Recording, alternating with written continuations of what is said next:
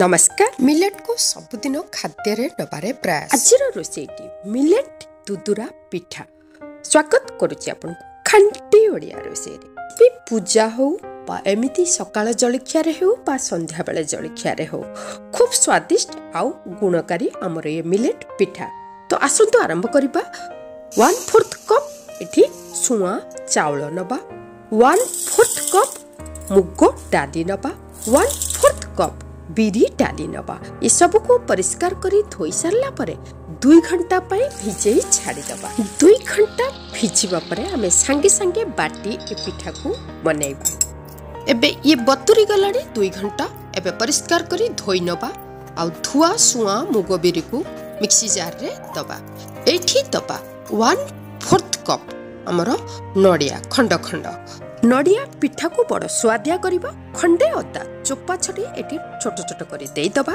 ପାଣି ଅଳ୍ପ ଦେବା ଏତିକି ପାଣି ହେଇଥିବା ଦରକାର। ଆଉ ଗୋଟେ ପାଚିଲା କଦଳୀ। ଏବେ ଦେଇ ତାକୁ ଛୋଟ ଛୋଟ କରି ସ୍ମୁଥ ବାଟି ନେବା। ମାଣ୍ଡିଆ ଚୁନା ଦି ଚାମଚ ଏଇଥିରେ ଦେଇଦେବା। ଆଉ ଥରେ ଖାଲି ଗୋଳେଇ ହେବା ପାଇଁ ଦି ସେକେଣ୍ଡ ଆମେ ମିକ୍ସିକୁ ବୁଲେଇ ନେବା। ଆପଣ ଯଦି ଆମ ଚ୍ୟାନେଲଟେ ନୂଆ ଏଇ ଚ୍ୟାନେଲଟିକୁ ସବସ୍କ୍ରାଇବ୍ କରି ବେଲ୍ ଆଇକନ୍ ଦବାଇ ଦେବେ ନୂଆ ନୂଆ ଭିଡ଼ିଓ ଅପଡେଟ୍ ପାଇଁ। ନଡ଼ିଆ ଆଉ ପାଚିଲା କଦଳୀ ଆମର ପିଠାକୁ ସ୍ମୁଥ ଆଉ ଜାଲିଦାର କରିବ। ଏଇଠି ନେବା କିଛି ମସଲା। ଦୁଇଟି ଗୁଜୁରାତି ସାତ ଆଠଟି ଆମେ ନେବା ଗୋଲମରିଚ। ଟିକିଏ ଜାଇଫଳ କୁଟି ଦେଇ ଏଇଥିରେ ଆମେ ଦେଇଦେବା। ଏବେ ଅଧା ଚାମଚ ପାନ ମଧୁରୀ ଦେବା। ଆଉ ଗୋଟେ ବଡ଼ ଚାମଚ ଖଣ୍ଡ ଖଣ୍ଡ ନଡ଼ିଆ ଆମେ ଏଠି ଦେଇଦେବା। ଆଉ ଅଧା ଚାମଚ ଛୋଟ ପାନ ମଧୁରୀ ଏଥିରେ ମୁଁ ଦେଇଦେଉଛି ଆଉ ଲୁଣ ଅଧ ଚାମଚ ଗୁଡ଼ ଦେବା। ମୁଁ ଏଠି ତିନି ଚାମଚ ଗୁଡ଼ ଦେଉଛି।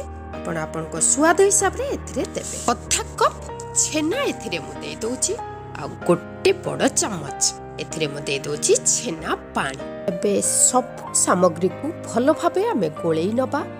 ନଡ଼ିଆ ପାଚିଲା କଦଳୀ ଛେନା ପାଣି ଆମର ଏଇ ଆଣକୁ ଏମିତି କରିଦେବ ସାଙ୍ଗେ ସାଙ୍ଗେ ଆମେ ବାଟି ପିଠାକୁ କରିପାରିବା। ରେସିପିଟି ବନେଇ ସାରିଲା ପରେ କମେଣ୍ଟ କରିବା ଭୁଲିବେନି କେମିତି ଲାଗିଲା ଲାଇକ୍ ବି କରିନେବେ। ଏବେ ଗୋଟେ ଭାରି କଡ଼େଇ ଆମେ ଗରମ କରିବା। ସେଥିରେ ଗୋଟେ ଚାମଚ ଘିଅ ଦେବା। କଡ଼େଇଟି ଥରେ ଭଲ ଭାବେ ଗରମ ହେଇସାରିଲା ପରେ ଆଞ୍ଚ ଧୀର କରିନେବା। ଆଉ ଏଇଠି ଗୋଟେ ଚାମଚ ଆମେ ଏଇ ଆଣ ଦେଇଦେବା। ଆପଣ ଚାହିଁଲେ ଏକୁ ଛାଣି ପାରିବେ। ମୁଁ ଏକୁ ଘିଅ ଦେଇ କଡ଼େଇରେ କରୁଛି। ୟା ଉପରେ ଟିକେ ଆମେ ଖସା ବିଞ୍ଚି ଦେବା। ଆଉ ଢାଙ୍କି ଦେବା ଧୀର ଚାଳରେ ଦୁଇ ମିନିଟ୍ ରାନ୍ଧିବା ପାଇଁ। ଦୁଇ ମିନିଟ୍ ପରେ ଆମେ ଏକୁ କାଢ଼ିବା ଆଉ ଓଲଟା କରିନେବା। ଯେହେତୁ ଗୁଡ଼ ଦିଆହେଇଛି ଯେମିତି ଜଳି ନଯାଏ ସେମିତି ଆଞ୍ଚ ପ୍ରତି ଧ୍ୟାନ ରଖିବା। ଏବେ ଓଲଟା କରିସାରିଲା ପରେ ଆଉ ଟିକେ ମୁଁ ଏଠି ଖସା ବିଞ୍ଚି ଦେଉଛି। ଆଉ ଅଧା ଚାମଚ ଘିଅ ୟା ଉପରେ ଦେଇ ଦେଉଛି।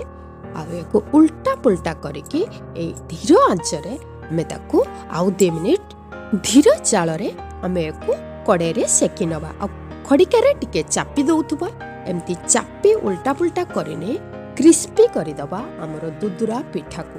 ପୁରା ଟିପ୍ସକୁ ଯଦି ଫଲୋ କରିବେ ଖୁବ୍ ସୁଆଦିଆ ଦୁଦୁରା ପିଠା ଆପଣଙ୍କର ଘରେ ହେଇଯିବ। ପିଲାଙ୍କୁ ଟିଫିନ୍ ବକ୍ସରେ ବି ଦେଇପାରିବେ।